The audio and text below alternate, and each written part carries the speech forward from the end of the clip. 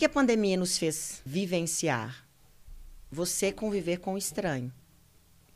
A rotina do dia a dia, sair de casa, ir para academia, fazer suas coisas e voltar para casa à noite com aquela rotina pré-programada, tá, é suportável.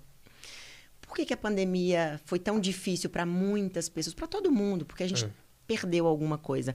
Mas conviver com estranho dentro de casa foi complicado, porque nós somos estranhos para nós mesmos.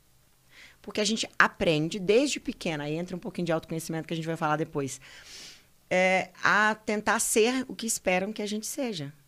Seja educado. A gente escuta sempre dos nossos pais: para de gritar.